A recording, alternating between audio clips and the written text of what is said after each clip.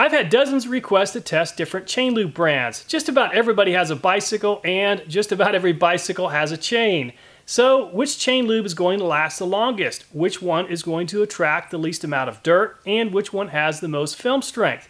I'm not exactly sure about that, but what I do know is we've got some test equipment, so let's get the testing underway and see which one of these products is the best. I recently purchased this hay baler and the previous owner used motor oil to lubricate the chain as you can see, there's just a lot of buildup of dirt and grime on this chain. So I'm trying to figure out if there's a better product. Just one chain for this hay baler cost over $100. So obviously I want to find out which chain lube is the best to keep this chain in good working condition.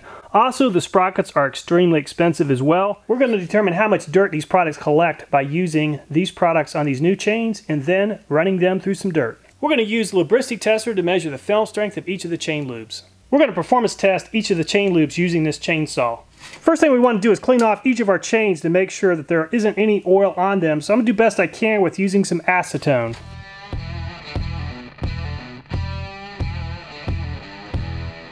I'm going to apply these products to one chain each and then I will suspend each of these chains up in the air for a few minutes to allow the products to drip off.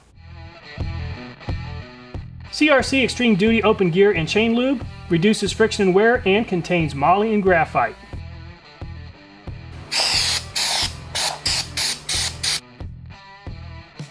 DuPont Chain Saver Wax-Based Chain Lube is for chain-driven vehicles, reduces chain wear, and is a self-cleaning technology.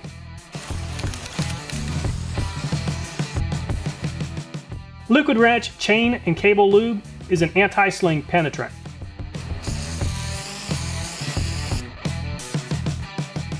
Lucas Chain Lube penetrates, lubricates, and extends chain and sprocket life. Purple Extreme Synthetic Lubricant is supposed to be the world's most advanced bike chain lubricant, 400 plus miles between applications, extreme water wash-off resistance.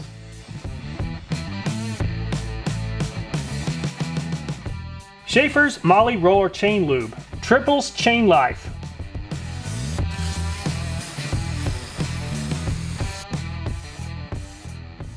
Schaeffer's, Purple Extreme, Lucas, and Liquid Wrench all look about the same. They're all translucent, they don't look messy, the chains still look like there's lubricant on them. In other words, they still look wet. Unlike the other products, DuPont looks like it is totally dried off. It feels dry to the touch as well. CRC, unlike the other products, is clearly coated with a very dark chain lube. This is a very oily type product. As you can see, it's going to probably sling a lot of oil. So one important ingredient that you want with a chain lube is you want a product that will stick to the chain.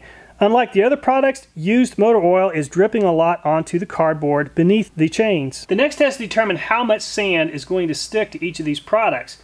Obviously, you don't want dirt and sand sticking to the chain lube that you use because that will cause damage.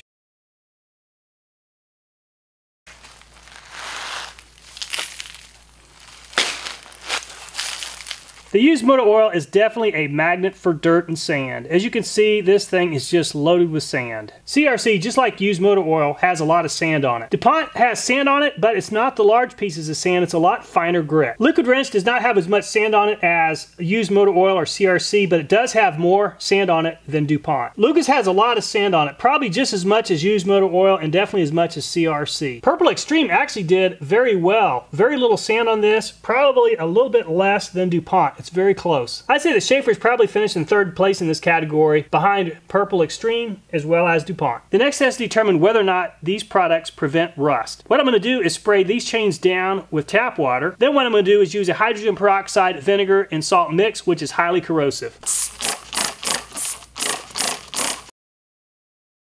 I spread all the chains five times in one hour, and so what we'll do now is just go through each one of them and look at how much rust has formed. This is used motor oil, and as you can see, there's a, quite a bit of rust that's formed on the chain. This is CRC. As you can see, there's absolutely no rust. However, there is a lot of dirt and grime that's built up on this chain. So DuPont definitely did better than used motor oil. However, there is still rust forming on several links of this chain. So the chain with Liquid Wrench on it seemed to have the most rust up to this point. Unfortunately, Liquid Wrench makes a tremendous penetrating fluid. It actually won one of the two showdowns, but it's definitely not going to win this showdown. Lucas actually did pretty good as far as corrosion prevention. I don't see that much rust on this. A lot of these dark areas, that's just the dirt. So Purple Extreme finished sort of middle of the pack regarding corrosion. As you can see, there is some corrosion that has formed. However, it's not as bad as some of the other products. Unfortunately, Schaeffer's came in last in this department. Clearly it has a tremendous amount of rust. Again, this is five applications over one hour, and look at all that rust. That's a lot of damage. We're going to go ahead and measure the film strength of each of these chain lubes using lubricity tester. Look in the video description and select a link if you want to see a video specifically about this lubricity tester.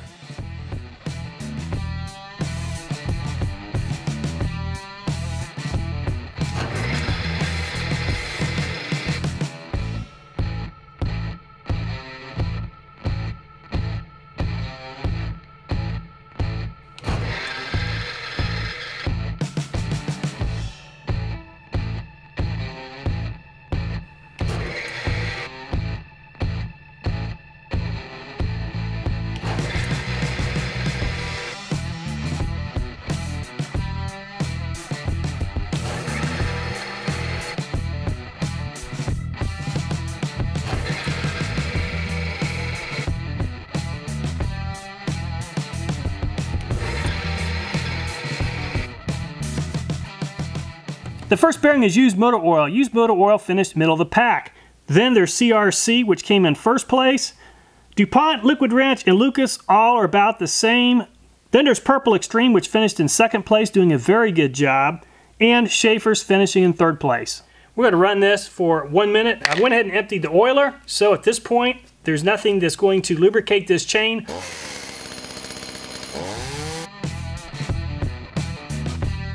The chain with the used motor oil on is very hot. The oil did not stick to the chain. This chain is really dry. So what I'm to do is I'm going to clean this bar off with brake parts cleaner and then we will reuse the same bar.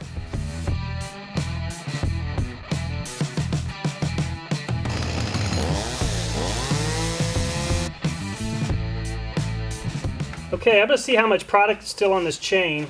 This product, while it slung a lot of it off, still has a lot of it on the chain still.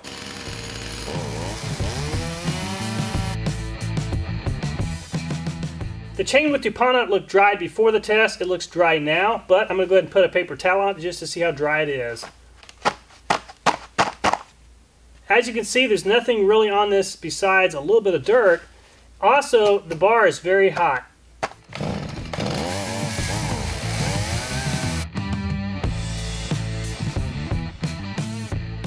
There was plenty of liquid wrench on the chain when the test began. We're going to go ahead and see if there's any left on it now. There doesn't seem to be any liquid wrench left on this chain. This chain's very hot and it seems very dry. You can see Lucas did sling a little bit of oil off the chain, so I'm to see how much oil is still on the chain. Looks like Lucas does have a little bit of oil still on the chain. After a minute of runtime, the Purple Extreme chain looks pretty dry.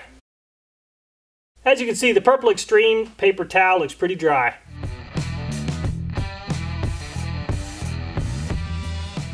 Okay, so the Schaeffer's slung off a lot of oil when I first got the chainsaw going, and the chain started smoking pretty badly around 30 seconds.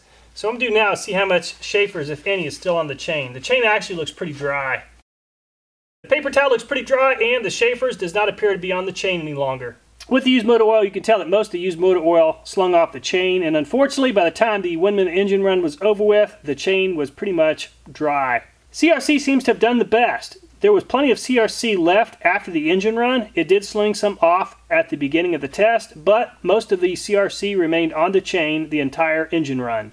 The chain with DuPont on it was pretty dry when I put the chain on the chainsaw, and by the end of the test, it's very clear that it was really dry. Most of the liquid wrench slung off the chain at the beginning of the test run. By the time the engine run was over with, the chain was pretty dry. Lucas did a pretty decent job of sticking to the chain. Obviously not nearly as good as CRC, but there was some Lucas left on the chain by the time the test was over. Purple Extreme has great film strength, but unfortunately it doesn't seem to stick to the chain very well, and by the time the engine run was over with, the chain was pretty dry. A lot of the Schaeffer slung off the chain during the engine run. About 30 seconds in, there was a lot of smoke coming off the chain, something we did not see with the other products. By the time the test was over with, the chain was pretty dry.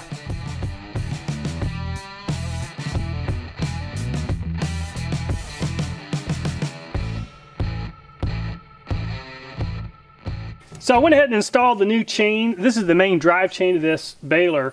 And so which product am I going to use on this drive chain? I decided to use CRC. Now here's why.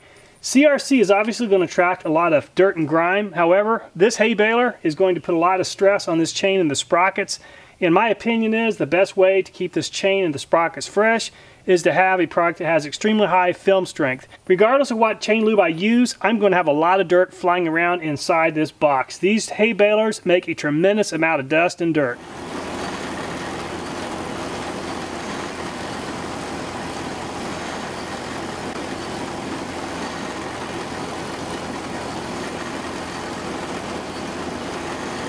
So CRC won this competition by having tremendous film strength and coming out on top in three or four categories. But the qualities that made it come out on top in three categories also resulted in it coming in last place as far as the amount of dirt that stuck to the chain. Because it's so sticky, because it has such great film strength, it's also a magnet for dirt. Definitely not something you want on a bicycle chain, but it might be a great product for something that isn't going to be exposed to a lot of dirt. Now, if you were to use a product for a bicycle, which product would I recommend? I would say Purple Extreme, and here's why. Purple Extreme had very good film strength, which is going to protect your chain and your sprocket from wear. Also, it did a fairly good job at resisting rust. So if you're out riding and you splash through some mud puddles or it gets wet, your chain is less likely to rust than it is with some of the other products. Overall, I was really impressed with Purple Extreme, but it's incredibly expensive, costing three and a half times more than most of these products. I like Lucas quite a bit as well. Lucas did not have as much film strength, but it did tend to stick to the chain. So if you have an application where film strength isn't as important and you just need to make sure that you have a product that's going to stick to the chain, Lucas might be a good choice. Anyway, are there other chain lubes that I missed? If so, would you like to have another showdown using different products? I'm always open to your video ideas. You guys give me great recommendations. I hope you'll leave a comment. Thanks so much for watching the video and I look forward to seeing you next time.